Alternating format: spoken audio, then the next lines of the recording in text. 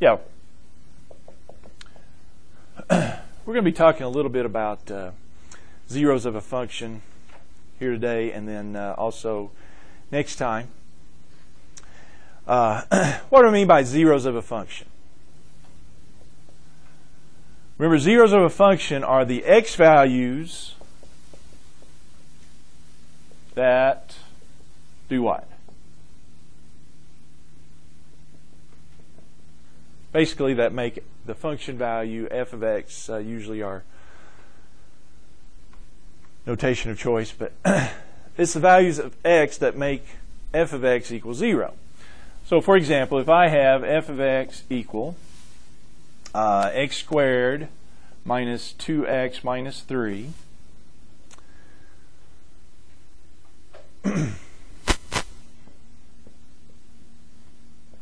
what are the zeros of that? Well, the zeros of that are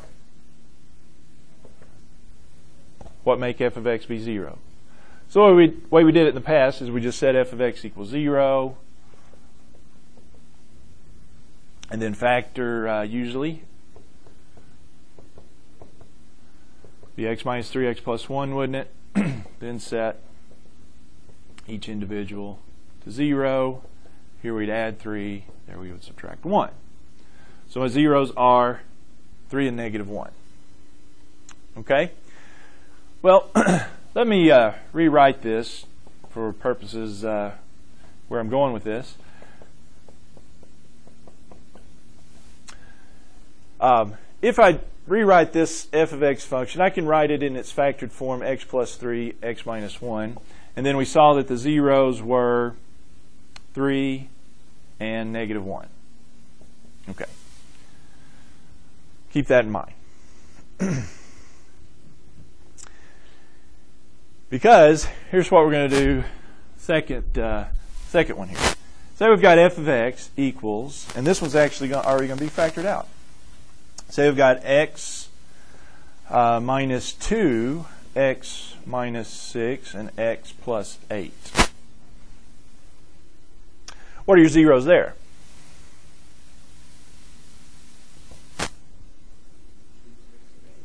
2, 6, and negative 8, okay?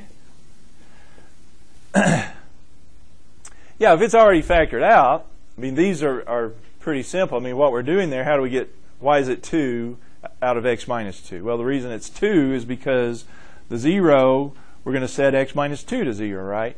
And so we're going to add 2, and that's going to give us x equals 2.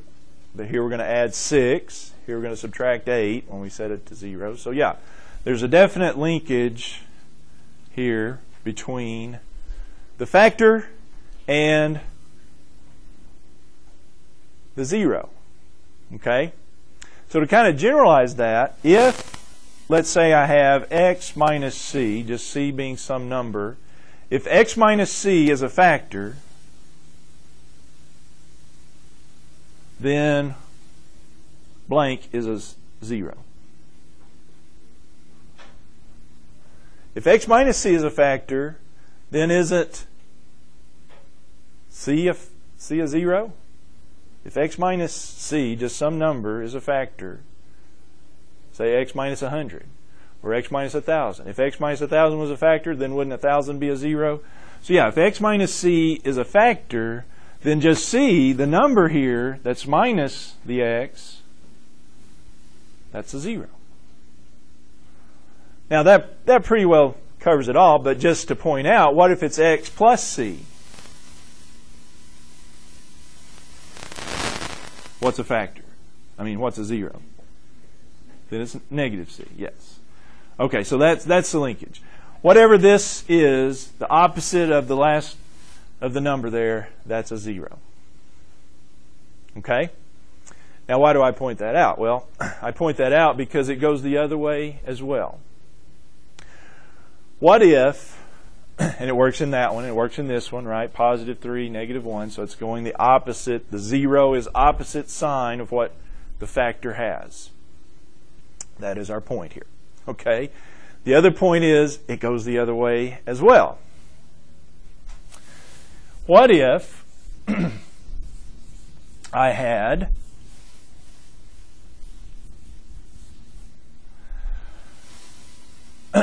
to find a function with a polynomial function, I should say, with zeros of 7 and negative 4.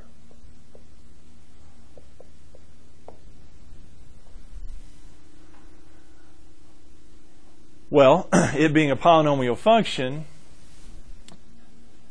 wouldn't this mean I would have to have a factor of what? What would I have to have as a factor for 7 to be a 0? Wouldn't I have to have x minus 7 as a factor?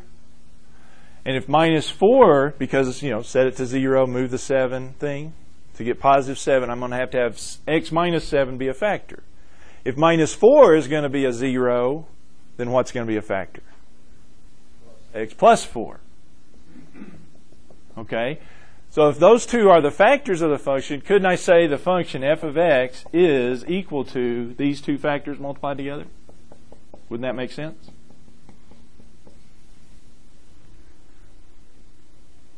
I think so. There you go. There's our one example. There's there's others because you could actually multiply any number by these, like put a 2 out here or a 3, and you get a little different format. Um, now, what they'll uh, do for the answer here is actually multiply this out by FOILing.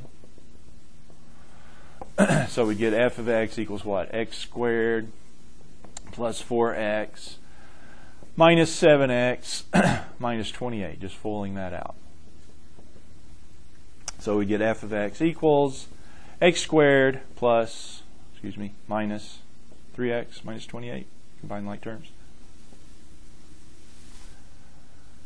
So that would be a polynomial function with the specified zeros. Okay, so it goes it goes both ways. If you have the zero, then you got the factors. You got the factors, and you got the zeros. Okay, so it goes it does go both both ways. Okay. All right, here's uh, one more, more of those then. A couple of little other twists.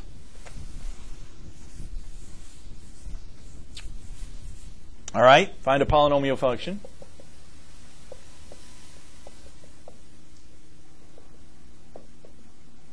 With zeros.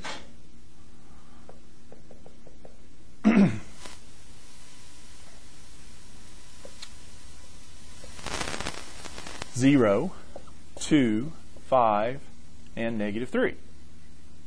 And like I said, we'll multiply uh, multiply these out.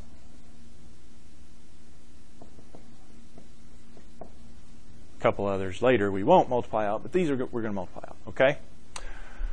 All right.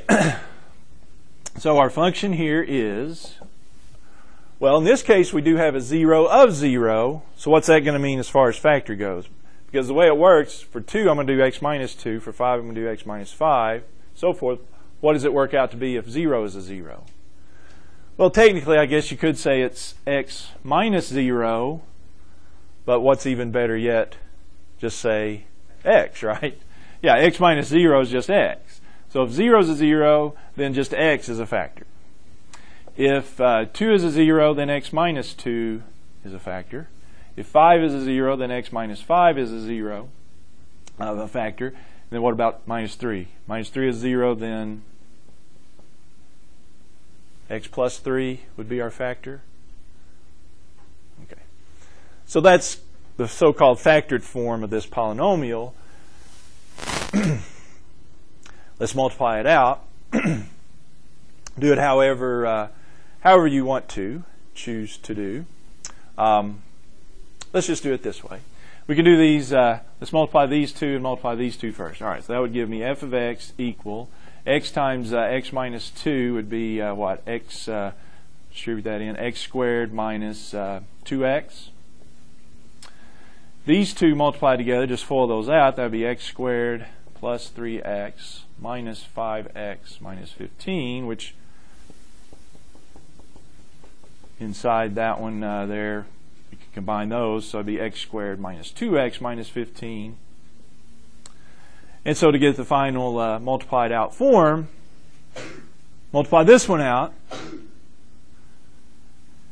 which just means multiply this one by all three of those. That'll be x to the fourth minus 2x cubed minus 15x squared. Then do the same thing for the minus 2x, multiply it by all three over there, so it'll be minus 2x cubed plus 4x squared plus 30x. And so the final format that they would probably have got like terms minus 4x cubed minus 11x squared plus 30x. Okay. So anyway, there you go. Polynomial function with those zeros. Find it that way. All right. Question or concern? Question. Mm-hmm. above two, would that make? I mean, you know what I mean? Like, if you wanted to put, you know what I mean? Like, you wanted to make it a fraction. Like, you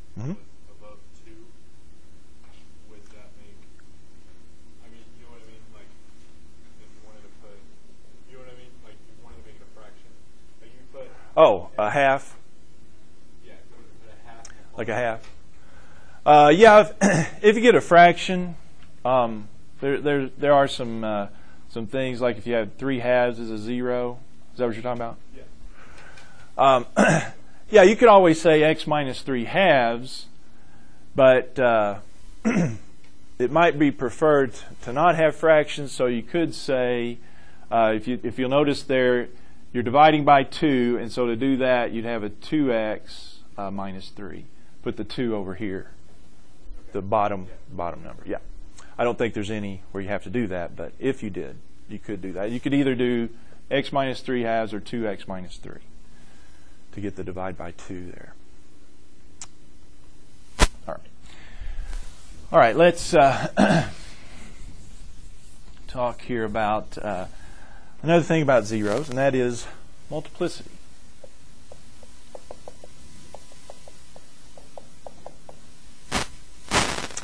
Uh, if we note here, if we've got f of x equal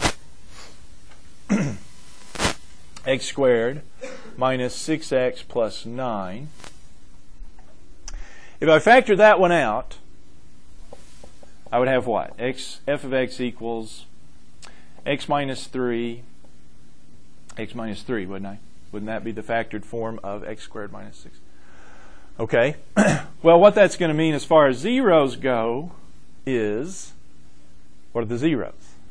3, 3. Well, 3 is the only zero, but it occurs twice. See what I'm saying? So we do have two zeros, which that, that is another point. We'll probably stress it more next time. But uh, the number of zeros should match your degree.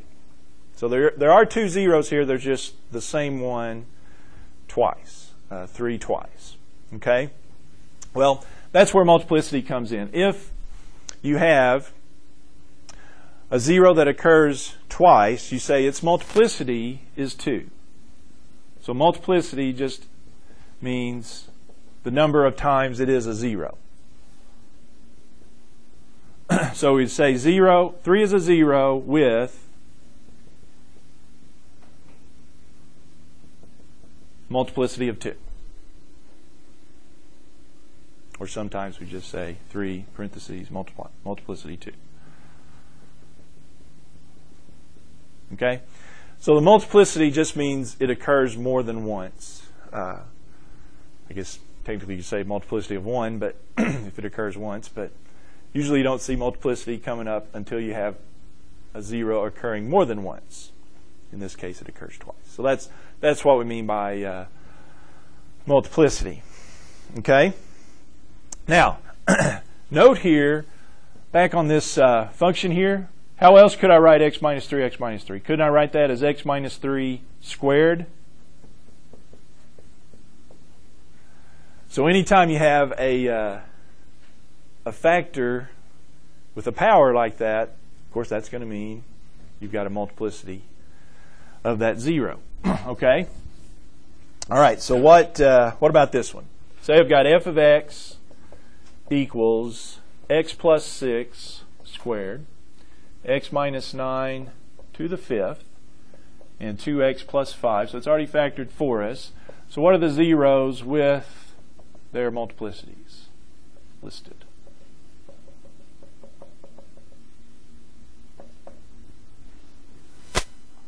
Well, since this factor is easy enough here, the zeros, what's going to be the zero uh, from this one?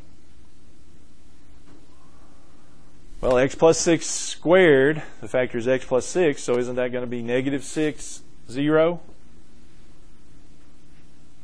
And doesn't that mean it occurs twice? So there's going to be a multiplicity of 2 with negative 6. All right, what about this one? What's the 0 there?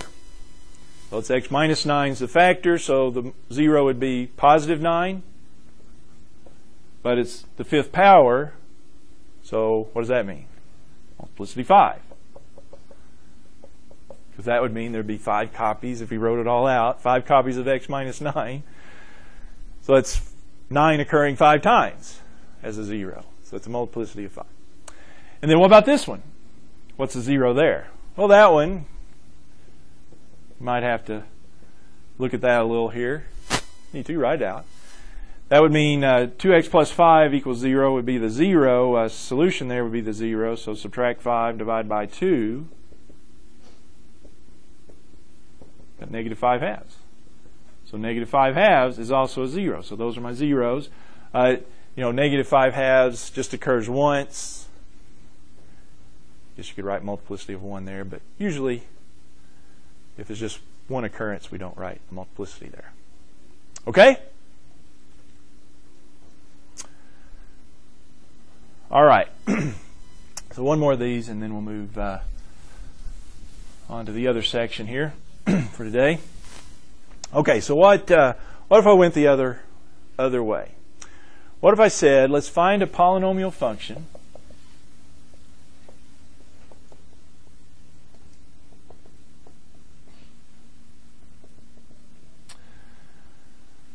with degree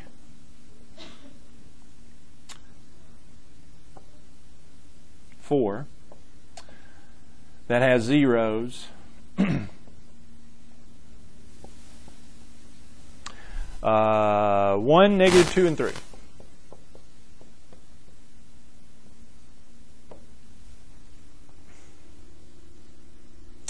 We want a polynomial function with degree 4 that has zeros of 1, negative 2, and 3.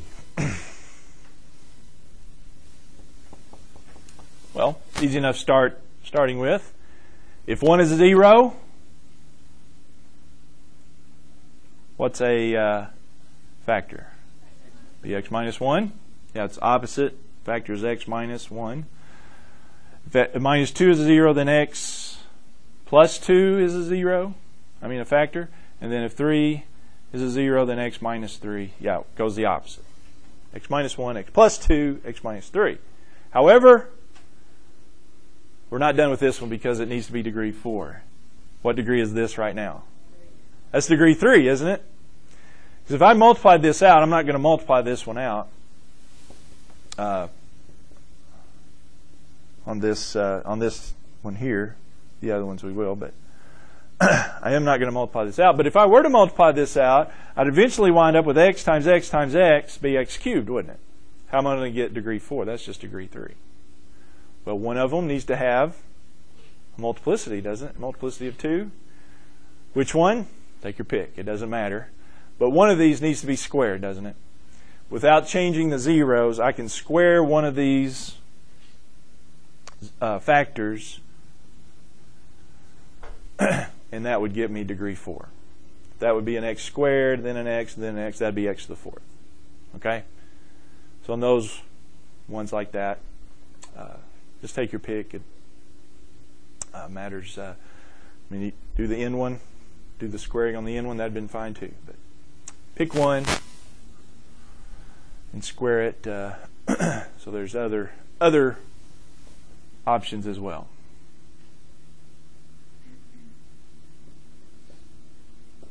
Okay, with me on that.